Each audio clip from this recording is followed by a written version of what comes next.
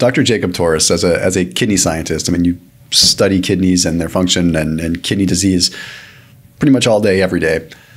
who's who's the kind of person that really should be limiting protein consumption?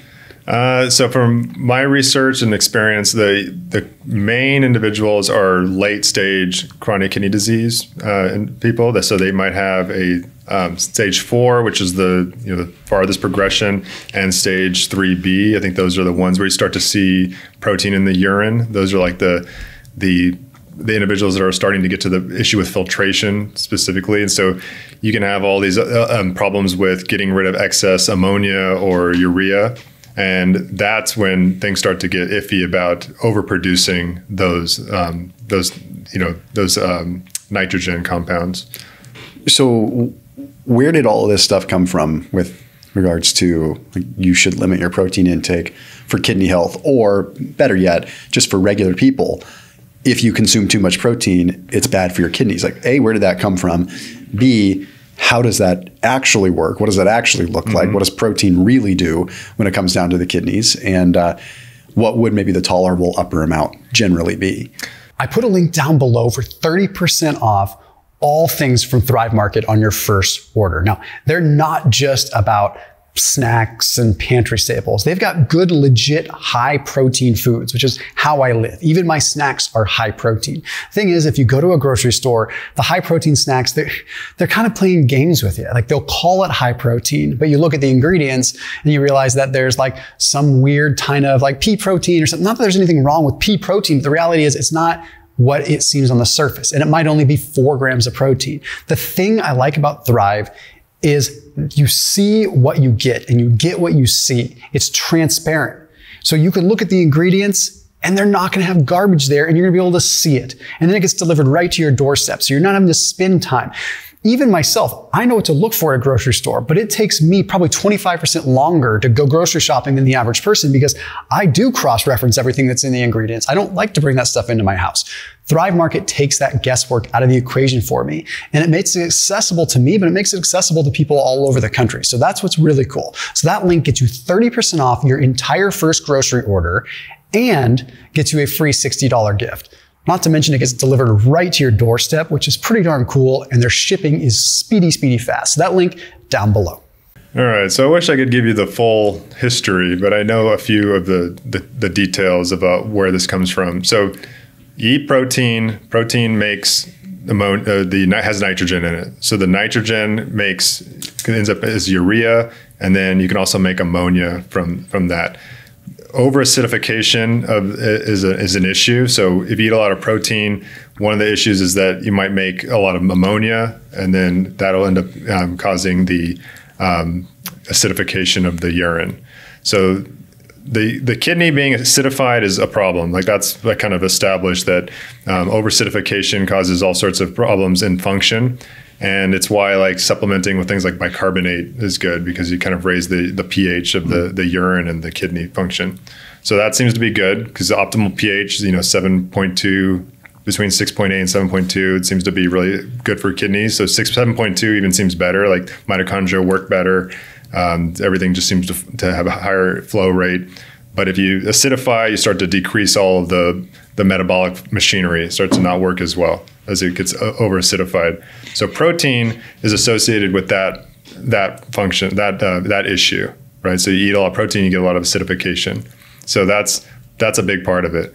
Um, so that's the I think uh, one of the stories. The other one is that um, protein shows up in the urine of late stage um, kidney disease. So if you have proteinuria, that's like means that the the cells that are responsible for preventing the like they're filtering out the the urine they're no longer attached properly. So protein starts to make its way from the blood into the urine and then it just shows up as in, in the it shows up on a test and they're saying okay well now that you're showing deterioration of kidney function you're no, no longer filtering properly. And so then i think that that alone, people hear protein, yeah. and then protein, you know, gets associated. Just yeah. dietary reverse, protein, reverse causation, and, yeah, yeah, is associated with that. But really, what you're seeing is albumin, um, which is just like the major blood component protein that's just showing up in the urine. Uh, I don't. It's not like a direct correlation between the food, the protein you eat, and the albumin in your blood. They're not related in that way. It's just that it. I think they have the same. They both say protein. Just like fat is bad because fat has the word fat in it. Yeah. It's just like one of those types of things. Yeah, so eating fat doesn't necessarily mean that you have high VLDL. Or that yeah, it would make you fat necessarily. So there's, we have this just this naming convention that I think that also is confusing.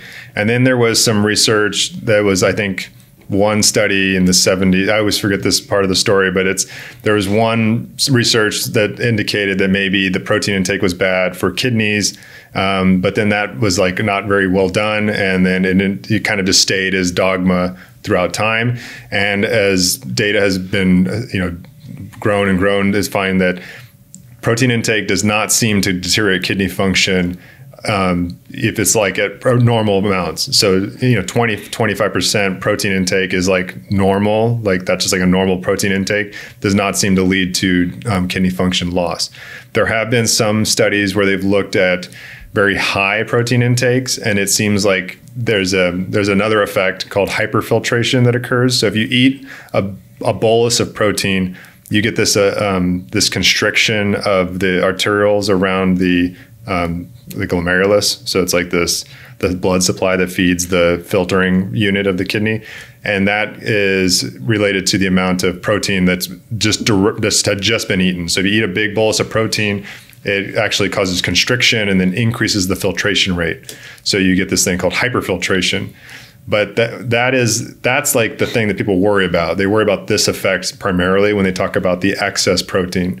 So if you if you eat some protein, the hyperfiltration occurs transiently. That's normal. You get this transient hyperfiltration. It's not the same as the hyperfiltration that occurs when you have, like, say, a um, high blood pressure or some other, uh, you know, vascular disease that occurs where it causes constriction or some other, um, like, high, like just from high blood pressure alone can cause this hyperfiltration effect. That's one of the signs of late stage kidney disease is that you get hyperfiltration. So they're associating the acute protein response for hyperfiltration with the chronic kidney disease hyperfiltration symptom. And so then that's the other portion of the story that causes protein to be demonized for kidneys. So you kind of end up with these like these all these little stories that come together and they make kid, you know protein be bad for kidneys. So what would a tolerable oh I just shouldn't say tolerable, but I mean what do you see at least in the literature as being the amount where this hyperfiltration even starts? Like, is it a pretty significant bolus of protein that you'd have to take in? Yeah, I think if you if you do like a, I mean, if you eat a chicken breast, I think you would experience some form of hyperfiltration. Okay, throw, throw out all the chicken breast. I think just like a 30 gram, 40 grams of protein would be enough to cause a like an elevation of just this just that but again it's transient yeah. it occurs for just the period of time that amino acids are elevated in the blood that dirt following that that bolus and then you it kind of goes back to its normal amount so it's not like a lot required um, but again it, it seems like it's a normal function of of the biology of the kidney that it just responds in that way so, and that's that's even in that that acute kind of time frame. That's not particularly stressful on the kidney, from what you see. I don't think so. I mean, it, it seems to be normal. I, I, would not know if you if they call it stressful, but I think the concern is that repeatedly activating that hyperfiltration mm. response might put stress on the kidneys. Yeah, yeah. So you're emulating what happens in a late stage kidney yeah. disease, right? But it's sort of like I don't know if you did you ever see that study on like erythritol a while back, like that where they're saying like erythritol causes heart disease and things like that. Yeah. It's like complete reverse causation. It's mm-hmm. like just because erythritol is elevated in people that have like yes. heart disease doesn't mean that elevating blood levels of erythritol via your diet acutely caused it. cause heart disease, right? right? So it's the same kind of discussion. It's like, okay, yes, you have late stage kidney disease and you have this mm-hmm. hyperfiltration and this increased blood pressure that's an entirely different situation than what's happening here. It's just, right. but it's I could see how it'd be easy for someone to connect. You can make the, the you can make the jump. Yeah, the jump is not that hard to you know because yeah, it's, it's this thing looks like this thing, so maybe they're the same, and and then the overabundance of caution comes in, right? Where you're just like, let's not let's not figure this one out. Well, well then, it, then, it, then it gets really funny because then it starts turning into a demonization of animal protein, mm-hmm. like specifically, when in reality, protein's going to be protein at that rate, right? Like well, there's um, I can't remember the top of my head the amino acid that is responsible for this effect, um, but it is more abundant in animal protein. So they've done the studies with looking at like soy protein versus whey protein to see, and I think egg has been compared. So they look at different protein sources to see if it affects the filtration response, and animal protein does have more of an effect. Okay, so it's just taking that same the amino acid composition is different. Yeah, so you're just taking that same argument and just pushing it a little further because it's exacerbating that same hyperfiltration. Right. But it doesn't actually cause any more of a problem per se.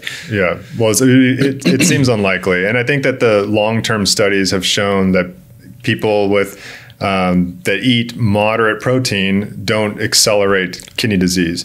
And this has even been done in um, PKD. So there's been studies that because they were interested in knowing does it does it accelerate the disease progression in, in polycystic kidney disease, and it does not. It looks like protein was independent of the progression. So the people that had normal protein consumption throughout the they were not restricting, they still progressed the same as anybody else did.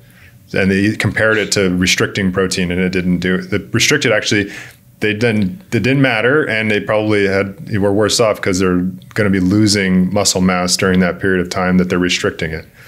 Is there any kind of you know feedback that you're aware of in terms of like metabolic health? Let's say someone that what i'm trying to look at is if someone eats adequate amount of protein as they're aging and they maintain adequate muscle mass and consequently adequate metabolic health as a result of having a glucose sink and sort of just that extra metabolic health. Is there a link between better metabolic health and better kidney function? Like, or do they operate really independently? Mm.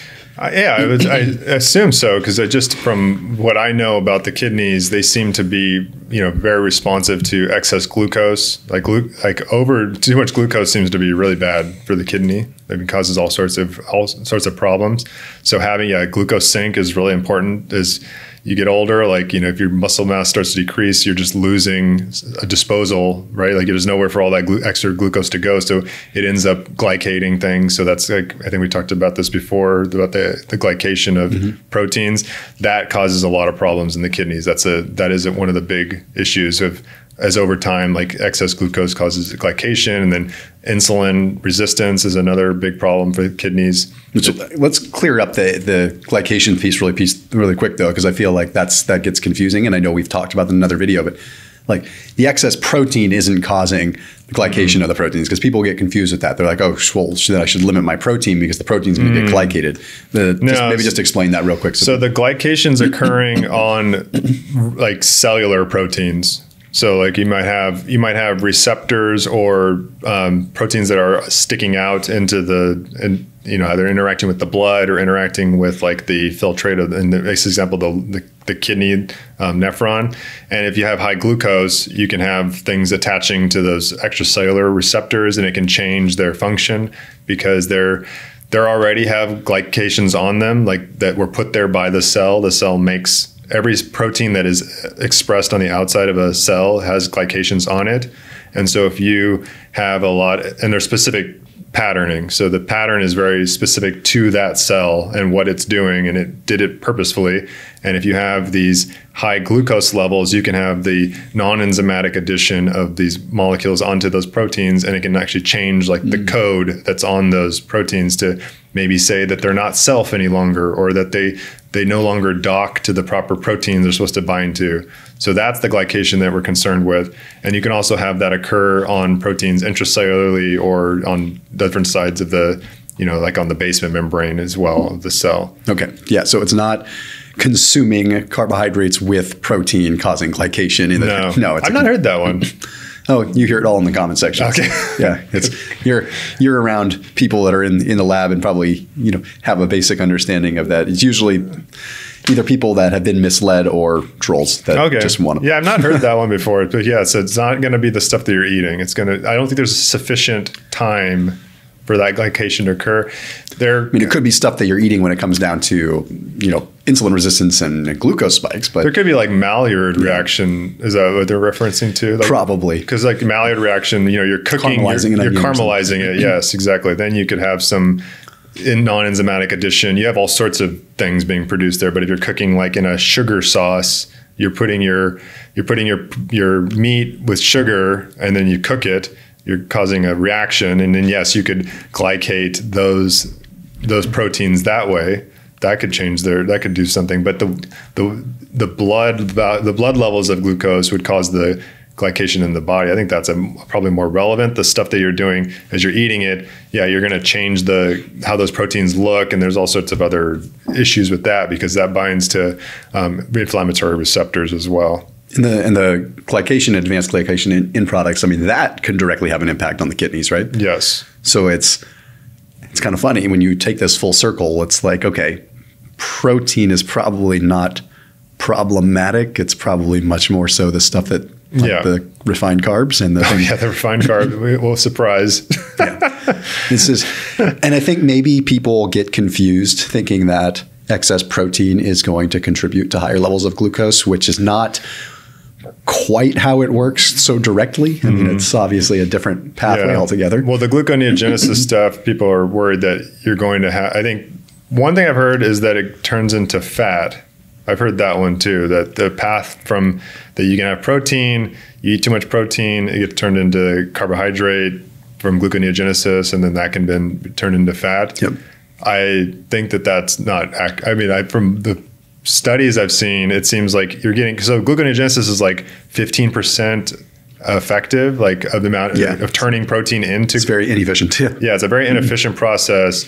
And then you ha- we're talking about another uh, process like so you got that the amount of carbohydrate has to survive and then make its way to the liver to be esterified. It has to be lengthened first and then esterified. So it's a, a very unlikely pathway and a very inefficient one. So it's not impossible, but just seems non-appreciable. Like it's such a small amount that would that would it could occur. It seems unlikely that that's ever going to be an issue. Very much so demand driven versus just a supply thing. It's not like you're eating a bunch Yeah. of protein. Even in a ketogenic state, you're not just magically, I mean, you're much more likely to take a triglyceride, glycerol backbone and turn that into a Well, that's what I was going to say too. You're not even like, yeah, it's hard to. Your glycerol is your main choke point in in a ketogenic diet because you just you're using up all the glycerol you're making. Like it's just going to get turned into glucose. I think for them, like it's you got to find the the glucose somewhere, right? So it's like the backbones are the easiest place to to get it from. Is it, using glycerol to turn to glucose makes a lot of sense. from from what I've heard before, it's excuse me. from what I've heard before, it's more about kind of how the why am I losing my voice?